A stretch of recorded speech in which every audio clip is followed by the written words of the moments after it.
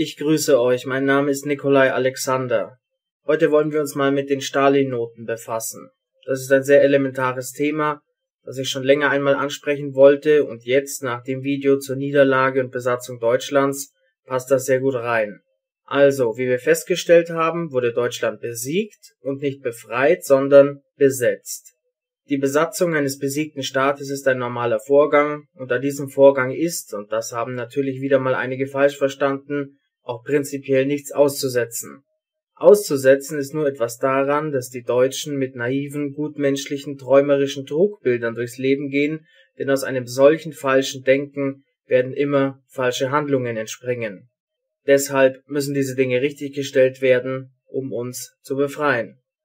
Also Deutschland wurde besetzt und büßte seine Souveränität ein, und in einer angeblich zivilisierten Welt würde man davon ausgehen, dass dann ein Friedensvertrag mit der Regierung des Verlierers ausgehandelt wird, in dem bestimmte Bedingungen wie zum Beispiel Reparationszahlungen, Abtretung von Territorien und in diesem Fall eine Verpflichtung zur Entnazifizierung und Demokratisierung festgelegt sind und die Regierung bzw. die Organe des Staates haben diese Auflagen zu erfüllen, und zur Sicherstellung der Erfüllung dieser Auflagen bleibt das Land für einen bestimmten Zeitraum militärisch besetzt. Vielleicht fünf Jahre, zehn Jahre oder zwanzig Jahre, je nachdem.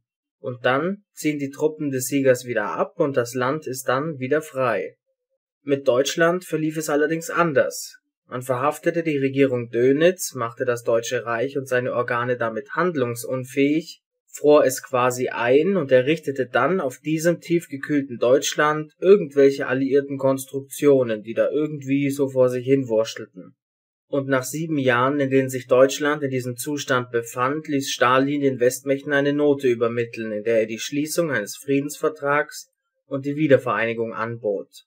Inhalt der Note war folgender die Sowjetunion hält es für notwendig, die Regierung der Vereinigten Staaten von Amerika darauf aufmerksam zu machen, dass, obwohl seit Beendigung des Krieges in Europa bereits etwa sieben Jahre vergangen sind, immer noch kein Friedensvertrag mit Deutschland abgeschlossen wurde.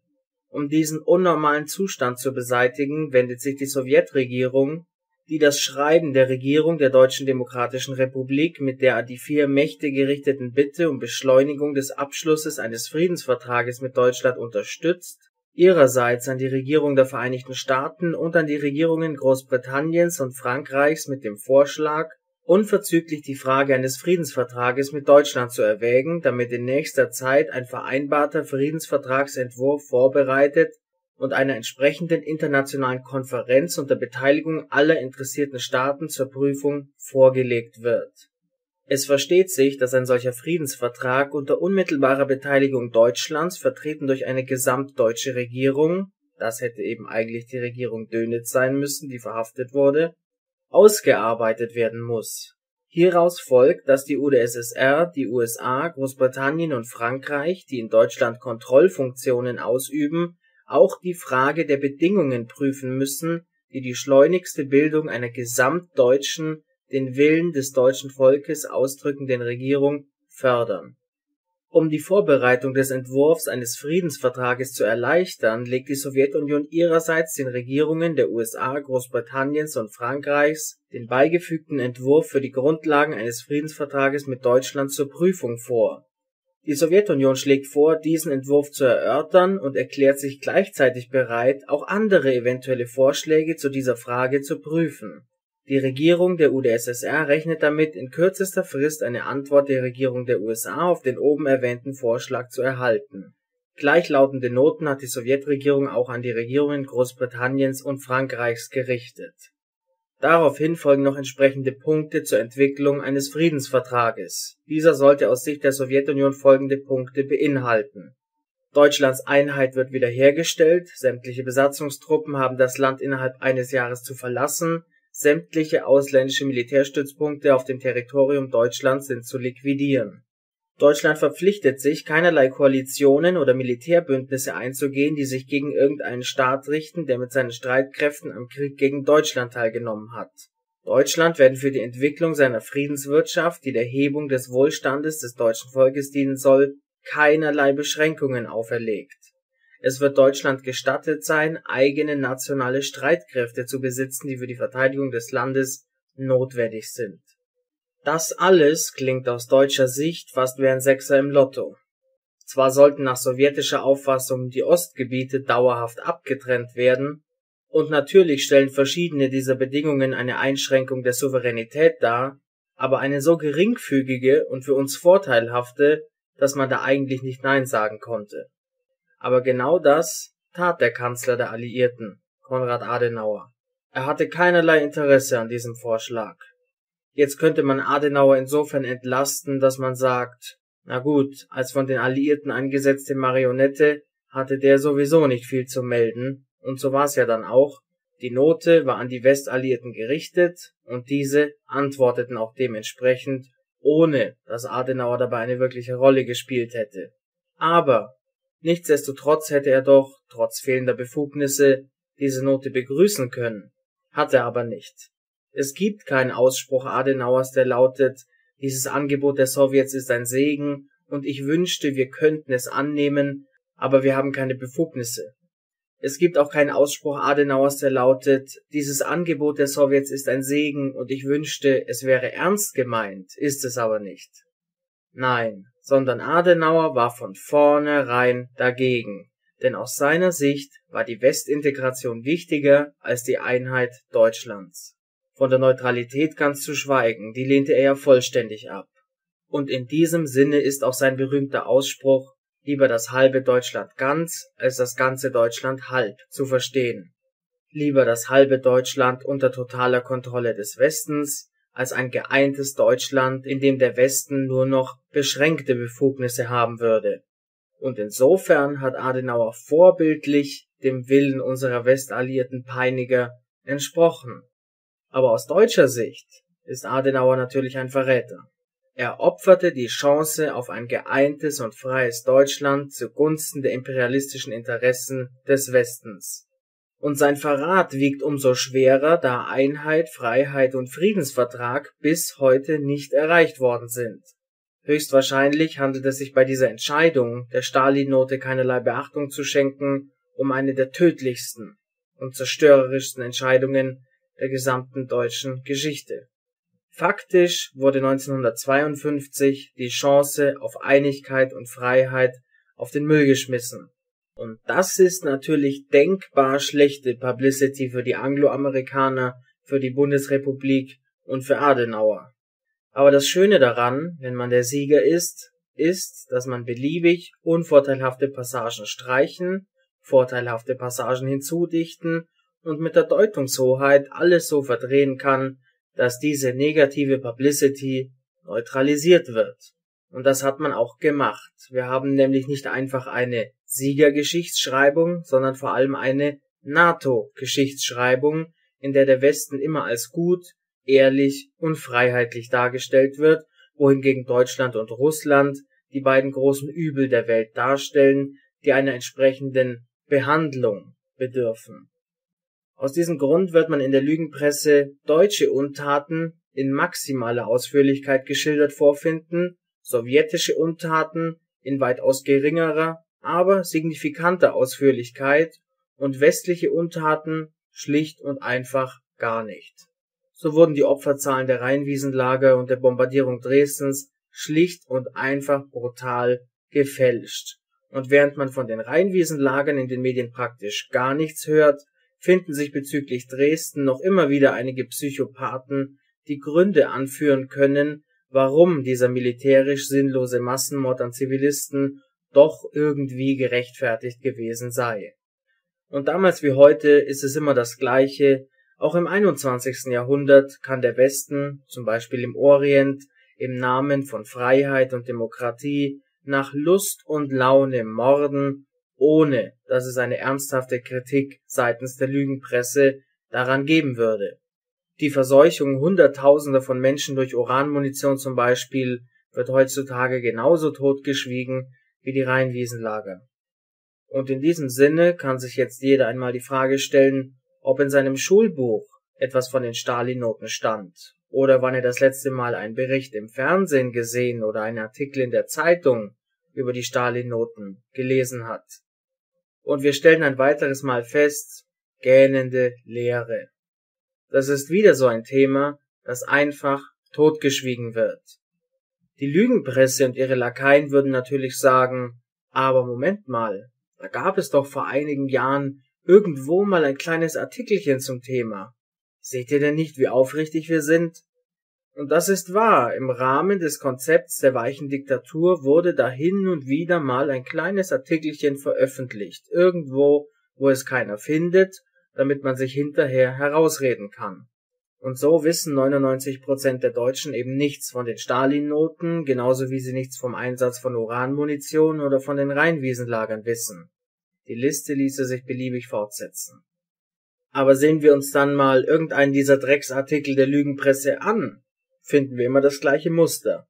Die Stalin-Noten seien nicht aufrichtig gemeint gewesen, Adenauer und die Westalliierten hätten richtig gehandelt und heute leben wir im Paradies. Was auch sonst.